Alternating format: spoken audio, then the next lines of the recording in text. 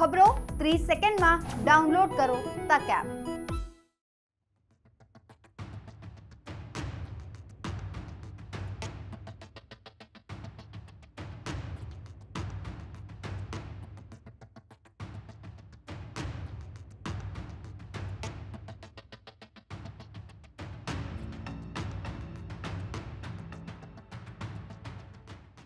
ગુજરાતમાં કોરોનાનો કહેર દિવસે ને દિવસે વધી રહ્યો છે. ઓમિક્રોનના કેસીસમાં પણ વધારો થઈ રહ્યો છે. પરંતુ લાગે છે રાજનૈતિક પાર્ટીઓ આ બાબતને ગંભીરતાથી નથી લેવાની અને લેતી પણ નથી. એક બાદ એક ભીડ એકત્ર કરવામાં આવી રહી છે. કાર્યક્રમ યોજવામાં આવી રહ્યા છે, જ્યાં સોશિયલ ડિસ્ટન્સિંગના સરેઆમ ધજાગરા ઉડી રહ્યા છે. આવો જ એક બનાવ બન્યો આજે.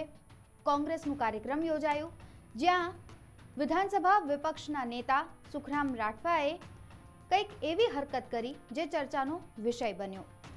શું કર્યું તેમને? સૌથી પહેલાં એ વિઝ્યુઅલ્સ પર એક નજર કરીએ.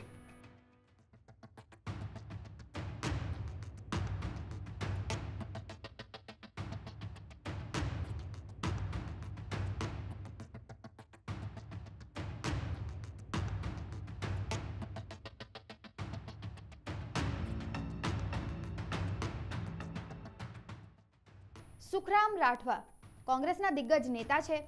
પરંતુ અત્યારે આ વિઝ્યુઅલ્સ જોયા બાદ એવું પ્રતીત થઈ રહ્યું છે કે તે એવું કહી રહ્યા છે કે હું તો માસ્ક નહીં જ પહેરું અને તમને પણ નહીં પહેરવા દઉં.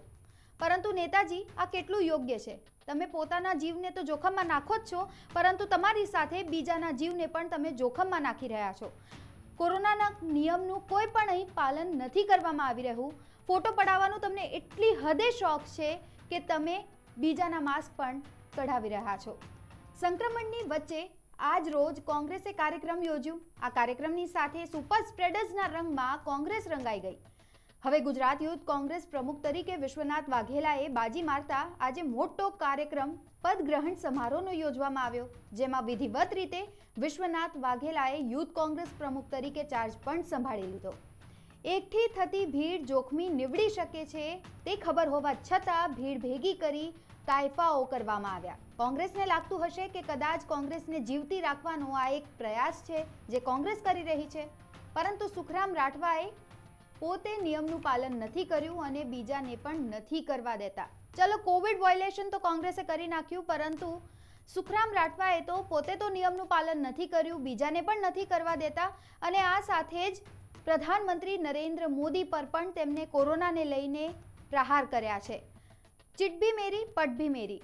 આ કહેવત એમના માટે જ એકદમ સટીક બેસે છે, કારણ કે તેમનું નિવેદન જ કંઈક એવું છે. શું કહ્યું છે? આવો સાંભળીએ. યુવાનોની જરૂર પડવાની છે. અને યુવાનો પ્રજાની વચ્ચે જવાના છે. મતદારની વચ્ચે જવાના છે.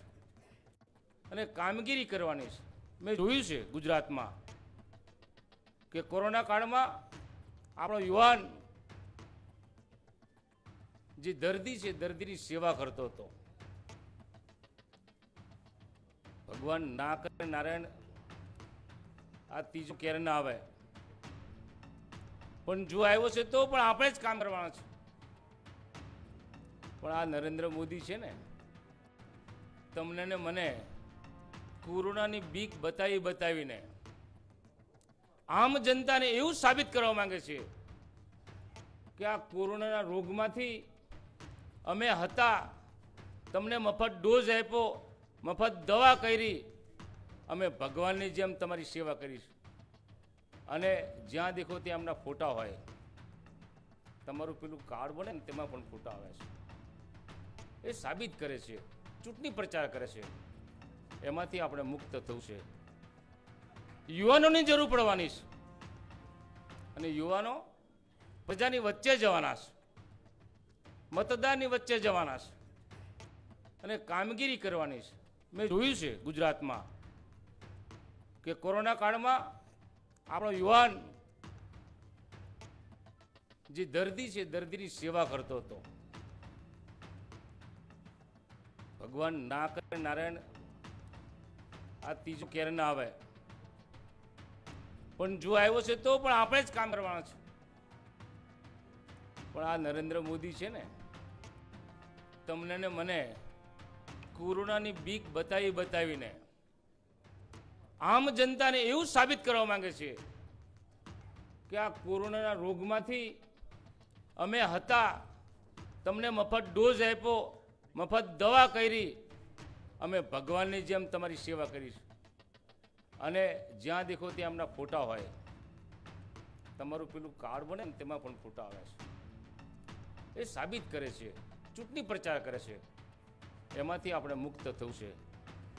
અરે સુખરામ રાઠવાજી, ગુજરાતમાં એક દિવસમાં સાત હજારને પાર કોરોના સંક્રમિતોના આંક આવી રહ્યા છે. લોકો પીડાઈ રહ્યા છે. એકવાર ફરી અમદાવાદના રસ્તાઓ પર ચિચિયારીઓ પાડતી એમ્બ્યુલન્સ દોડતી થઈ છે. પરંતુ આ બધું જ લાગે છે તમને દેખાતું જ નથી. અને એટલા માટે જ તમે અલગ જ રાગ આલાપી રહ્યા છો, અલગ જ ધૂનમાં રમી રહ્યા છો. અને એટલે જ કોવિડના નિયમનું પાલન તમે તો નથી કરતા અને જનતા પાસેથી પણ કદાચ એવી અપેક્ષા જ રાખો છો કે જનતા પણ ન કરે. અને એટલા માટે જ તમારી હરકતોમાં પણ એ વાત સ્પષ્ટ નજર આવી ગઈ. જુઓ કેવી રીતે તમે માસ્ક કઢાવી રહ્યા છો લોકોના મોઢા પરથી. ખેર આ તો નેતાજી છે, જે હમ નહીં સુધરેંગેના ટેગલાઇન સાથે હર હંમેશ આગળ વધતા રહેશે. અમે ગમે તેટલા અહેવાલ પ્રસારિત કરીશું, બતાવીશું, પરંતુ તેમના પેટનું પાણી ક્યારેય નહીં હલે, તેમને કોઈ ફરક જ નહીં પડે. પરંતુ આપણે એક સામાન્ય જનતા છીએ અને એટલા માટે જ કોવિડના તમામ નિયમોનું પાલન આપણે સૌ કોઈને કરવાનું છે, ત્યારે જ આપણે સુરક્ષિત રહી શકીશું. આ રિપોર્ટમાં બસ આટલું જ. ગુજરાતના તમામ સમાચાર જોવા માટે આપ જોતા રહો ગુજરાત તક નમસ્કાર.